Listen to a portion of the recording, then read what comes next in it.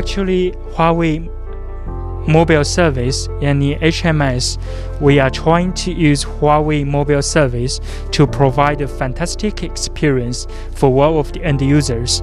Huawei mobile service is including Huawei App Gallery, Huawei Cloud, Huawei Movie, Huawei Music, and a lot of experience good uh, and a lot of fantastic experience you can get by using HMS. Okay.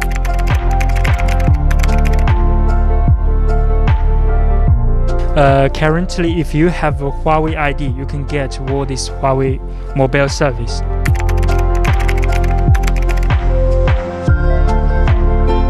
Uh, indeed, currently we are collaborating with developers to provide good apps for experience by our platform.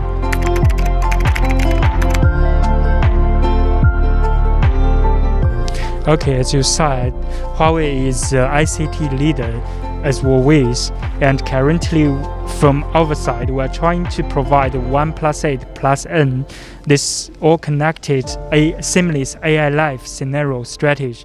This is trying to uh, build a good experience for the end users by high tech to use a mobile to connect all of the connected equipments. This one, it means mobile device, and the 8, it means VR AR tablet, PC, HD, speaker, watch, vehicle terminals, and earphone. And this N means we are trying to create more connected equipments except for these plus 8 products.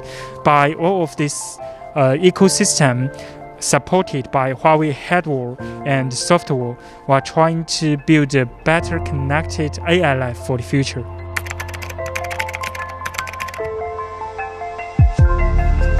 Uh, this one of these uh, eight uh, category uh, IoT products is, is being made by Huawei company.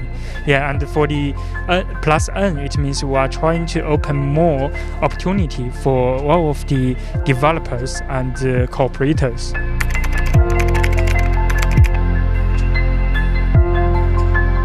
As you can see, Huawei is always the ICT leaders, and for sure, in the future, we believed that we can also create a, a good. Uh, we, we can create very good equipment and uh, high technology for all of the end users as we were dedicated to do it before.